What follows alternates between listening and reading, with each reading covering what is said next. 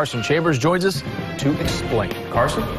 Well, hey, Jameson, Bank of America says it reached out to 30,000 Tampa Bay homeowners by phone and email, but today they got to sit down face to face to find a solution. The American dream means different things to different people. For many, it means owning their own home. We moved up to Winter Haven, purchased a home, a dream home. But for the last year, 30 year old Frank Banos watched his dream slowly slip away. His grip loosened after he hurt his back and lost his job.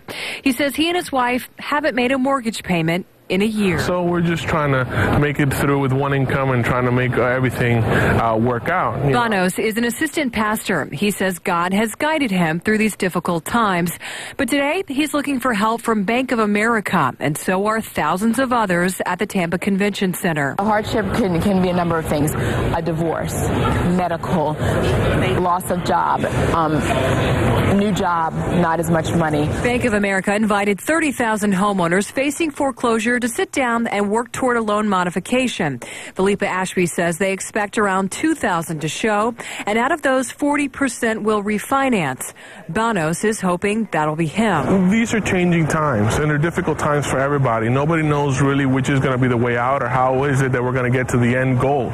But there's always a way out. There's always a light. And his American dream is still in sight. He and his wife are expecting their first baby, a boy, in a few months.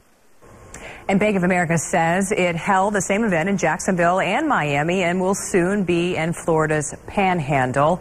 The Bank of America workshop is happening at the Tampa Convention Center. It runs from 8 a.m. to 8 p.m. all the way through Saturday. But first, you have to call or go to the bank's website to register. I'm Carson Chambers. Back to you.